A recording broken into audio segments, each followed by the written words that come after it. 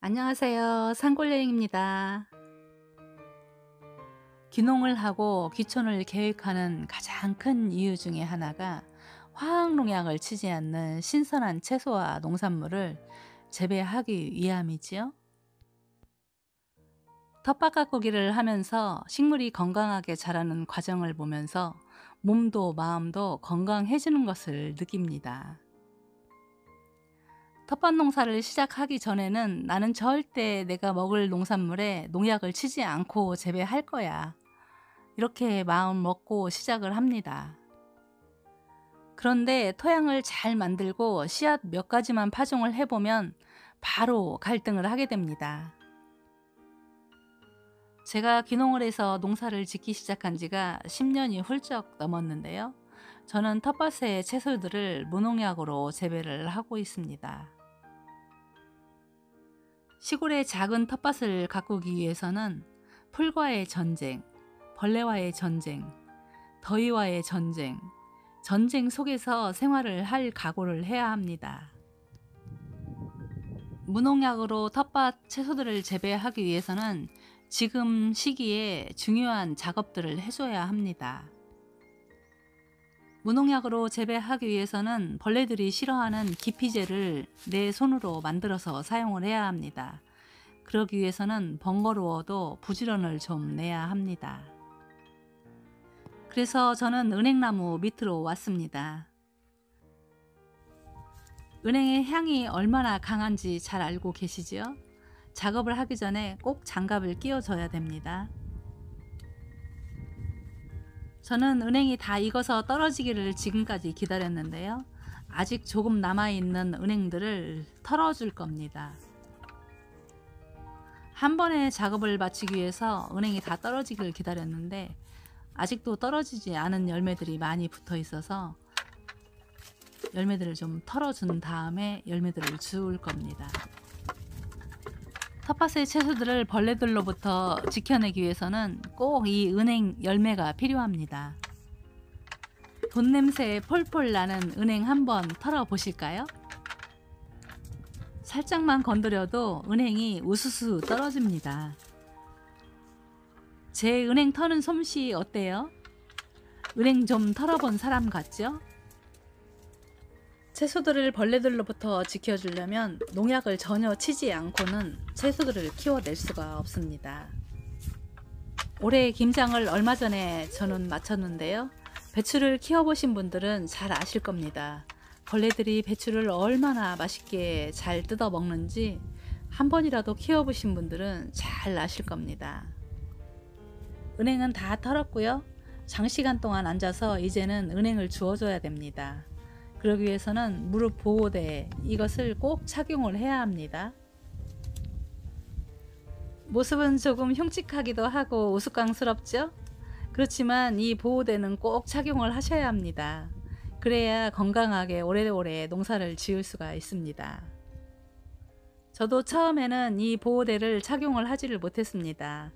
좀 부끄럽기도 하고 그래서 이 보호대를 착용을 못했는데 지금은 자연스럽게 하고 있습니다. 이제는 은행을 열심히 주워 담으면 됩니다. 이 은행나무는 아름드리로 굉장히 큰 나무인데요. 작년에는 은행이 하나도 열지 않았었습니다. 그런데 올해는 은행이 빈틈이 하나도 없이 다닥다닥 열어서 땅에도 수북수북 떨어져 있습니다. 이 나무는 가지가 너무 많이 열려서 찢어져서 이렇게 은행이 반쯤 말라 있습니다. 이런 것들도 다 사용을 합니다. 저는 하나도 남김없이 다 따서 주워 모았습니다. 은행의 파란 잎에도 살균과 살충작용을 하는 그런 성분들이 들어있는데요. 은행 열매에 그런 성분들이 더 많이 들어 있습니다. 그래서 저는 은행 열매를 꼭 이렇게 따서 모아놓고 있습니다. 꼭 열매만 모을 필요는 없습니다. 잎이 하나씩 들어가도 괜찮습니다. 그래서 빠른 작업을 위해서 저는 이렇게 대충 따고 있습니다. 시중에는 친환경 약재도 많이 판매를 합니다. 친환경 약재들은 벌레들이 싫어하는 깊이 식물들로 만드는데요. 풀뿌리나 줄기, 잎 이런 것을 가지고 만듭니다. 저도 급할 때에는 친환경 약재를 구입을 해서 사용을 합니다. 그런데 효과를 더 올리기 위해서 이런 은행들을 모아서 저는 사용을 합니다. 은행을 꾹 짜보면 은행의 즙들이 많이 나옵니다. 이 과피에 있는 이런 은행의 즙들이 벌레들이 싫어하는 기피제 역할을 합니다. 즙이 뚝뚝뚝 많이 떨어지죠? 은행의 즙이 꽤 많이 나옵니다. 제가 은행을 3시간쯤 주워 보았는데요. 은행에도 당분이 많은지 손이 끈적끈적 합니다. 제가 이 은행을 12월부터 줍기 시작했는데요. 아직도 늦지 않았습니다. 은행나무가 있는 곳에 가보시면 이렇게 은행들이 많이 수북수북 떨어져 있을 겁니다. 아직 은행의 과즙도 이렇게 짜보면 뚝뚝뚝 떨어질 정도로 많이 나옵니다. 내년에 건강한 채소들을 위해서 부지런히 은행나무 밑에 가셔서 주워 모으시기 바랍니다. 저는 올해 은행이 풍년이어서 은행이 수북수북 떨어져 있습니다. 은행 알맹이들이 토실토실 잘도 여물었죠. 그래서 저는 시간이 날 때마다 이 은행을 다 주워 모았습니다. 벌레의 퇴치를 하기 위해서는 천연살충제를 사용할 건지 일반 농약을 사용할 건지 둘 중에 한 가지를 선택해서 사용하시면 됩니다. 일반 농약을 사용할 때에는 효과가 아주 좋습니다. 한 번만 사용을 해도 벌레들이 완벽하게 퇴치가 되기도 합니다. 그런데 천연 농약은 그렇지 않습니다. 벌레들이 잘 죽지 않고 횟수도 자주 주어야 됩니다. 그리고 벌레가 생기기 전부터 미리 살포를 해야 합니다. 그런데 저는 이 은행을 이용해서 벌레들을 완벽하게 퇴치를 하고 있습니다. 저는 시간이 날 때마다 은행을 계속 주워 모아서 이 300리터 통에 하나 가득 주워 모았습니다. 은행을 주워서 모았으면 보관 방법이 아주 중요합니다. 통에 그냥 이대로 은행만 놓아두게 되면 은행이 영양제, 액비가 됩니다. 그럼 지금부터 잘 보세요. 이것은 통계피입니다. 통계피 한 뭉지를 구입을 해서 압력솥에 넣고 푹푹 삶아서 저는 이곳에 넣어줬습니다.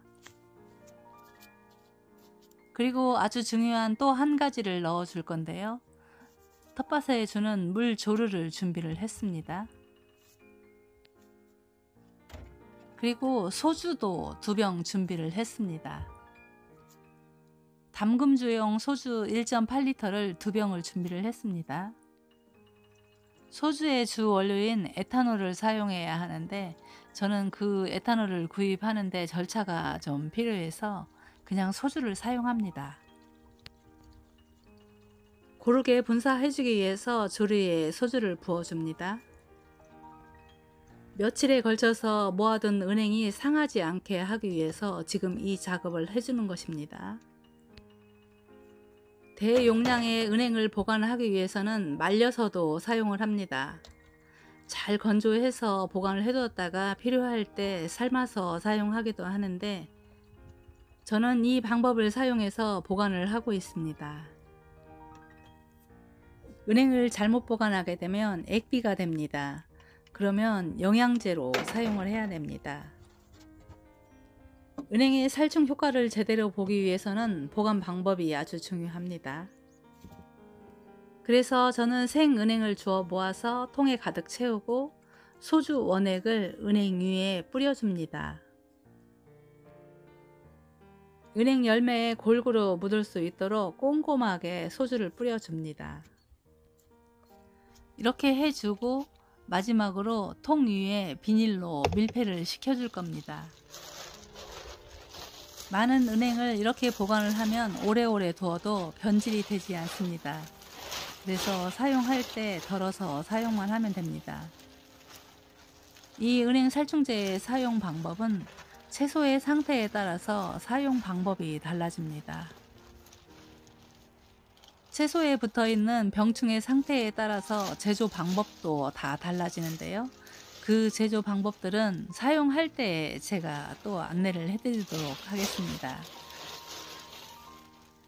이번 영상에서 그 모든 것들을 다 설명드릴 수가 없습니다. 오늘은 은행을 주워 모아서 보관하는 방법까지만 안내를 해드리겠습니다. 은행 살충제를 만드는 방법은 어렵지 않습니다. 은행을 먼저 이렇게 주워다 모으는 것이 제일 큰 일입니다. 아직 은행 주워 모으는 일이 늦지 않았습니다. 은행나무 밑에 가면 은행들이 아직은 수북수북 쌓여 있을 겁니다. 은행의 살충 살균 효과는 은행의 과피에 많이 들어 있습니다. 그래서 은행의 과피가 다 없어지기 전에 빨리 주워서 모아 놓으시면 효과 좋은 살충제를 만들 수가 있습니다. 친환경으로 텃밭 농사를 하기 위해서 다양한 방법들이 많이 있습니다. 그 중에서 아주 효과가 좋은 은행 열매를 이용하는 방법을 오늘은 알아보았습니다. 건강하고 신선한 텃밭 농사를 위해서 꼭 실천해 보시기 바랍니다. 오늘도 끝까지 시청해 주셔서 감사하고요. 가시는 길에 산골 여행 구독과 좋아요로 응원도 많이 많이 부탁드립니다.